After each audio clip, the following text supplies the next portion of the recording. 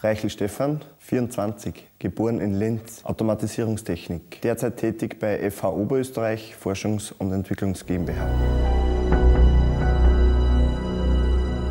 Ja, die Diplomarbeit ist aufbauend auf einem Berufspraktikum entstanden und dieses Berufspraktikum habe ich in England an der Anglia Ruskin University absolviert.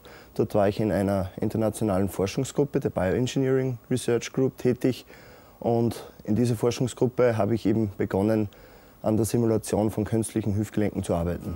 In dieser Arbeit simulierte Stefan Reichel mit der Finite-Elemente-Methode die täglichen Belastungen eines künstlichen Hüftgelenks und konnte dadurch das optimale Material und die Dicke des Austauschgelenkes berechnen. Ja, das Problem bisher war, dass zehn Jahre nach der Operation vermehrt Probleme aufgetreten sind und daher war es meine Aufgabe, diese Probleme zu analysieren und Lösungen zu finden.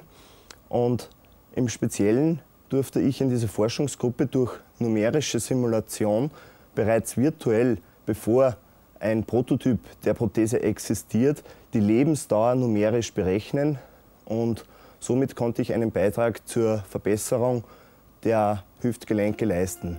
Basierend auf Computertomographiedaten wurde ein exaktes 3D-Modell eines Hüftgelenks gebaut. Wie es sich bei den alltäglichen Belastungen wie etwa Gehen, Stufensteigen oder Radfahren verhält, hat Reichel anschließend mit der Finite-Elemente-Methode simuliert und analysiert.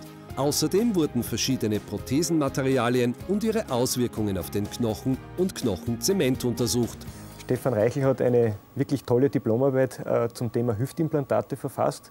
Das Besondere an der Arbeit ist, äh, dass er das Thema Lebensdaueranalyse aus dem klassischen Maschinenbaubereich auf ein biomedizinisches Thema sehr erfolgreich umsetzen konnte. Ich kann Ihnen nur gratulieren zu dieser herausragenden Leistung.